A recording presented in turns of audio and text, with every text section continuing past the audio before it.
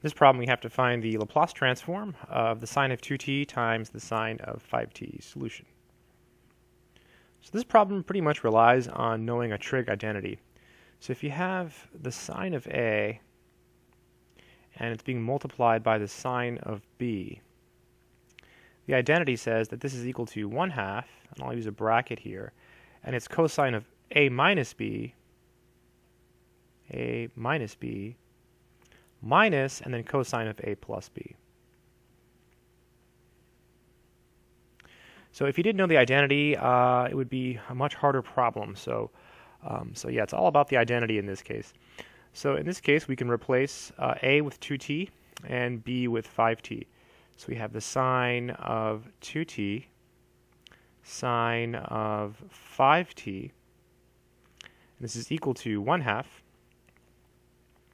Then we have cosine, and then a minus b, so it'll be uh, 2t minus 5t, right? So 2t minus 5t is negative 3t. And then minus cosine of 2t plus 5t. So 2t plus 5t is 7t. Cosine's an even function, so it eats negative signs. So this is just going to be 1 half cosine 3t. And then I'll distribute the 1 half to the other piece as well, minus 1 half cosine of 7t. Okay, good stuff. Now we can take the Laplace transform of this. So this is equal to this. So we're just going to take the Laplace transform of this. So the Laplace transform of uh, 1 half cosine 3t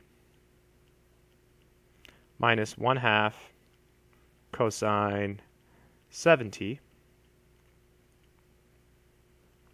This is equal to, so you can break it up into two different pieces, right? This is 1 half Laplace transform of cosine 3t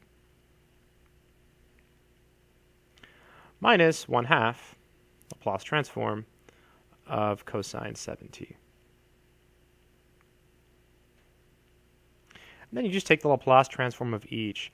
So how do you memorize the formulas? Well, I know that the Laplace transform of cosine has the s. So I just memorize it memorize it as cosine has the s, right? Cosine has the s. Sine has the k, right? If you take the Laplace transform of sine kt, that one has the k up top.